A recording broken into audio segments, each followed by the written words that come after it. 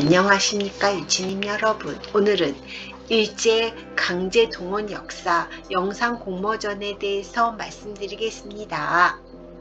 일제 강제 동원 피해자 지원재단에 대해서 소개합니다. 강제 동원이란 일제가 아시아 태평양 전쟁을 수행하기 위해서 물자를 동원한 정책을 의미합니다.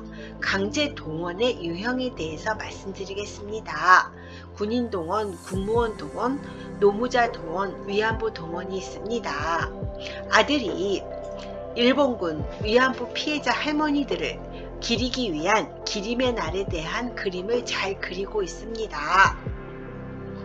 우리는 위안부 피해자 할머니들을 늘 기리고 기억해야 합니다.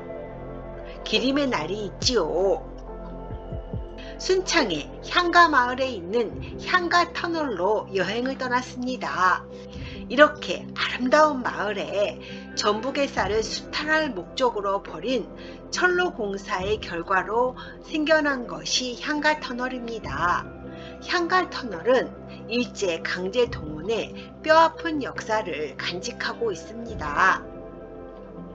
섬진강가의 향가 마을입니다. 섬진강을 끼고 아름다운 마을인 향가 마을입니다.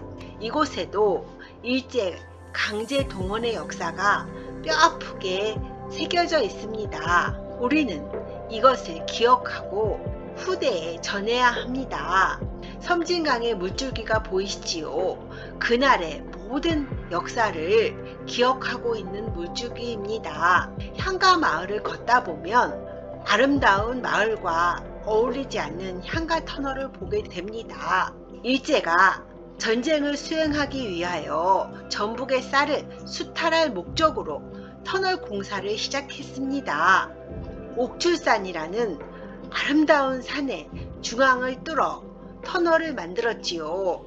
이곳에 강제 동원된 많은 인력들을 기억해야 합니다.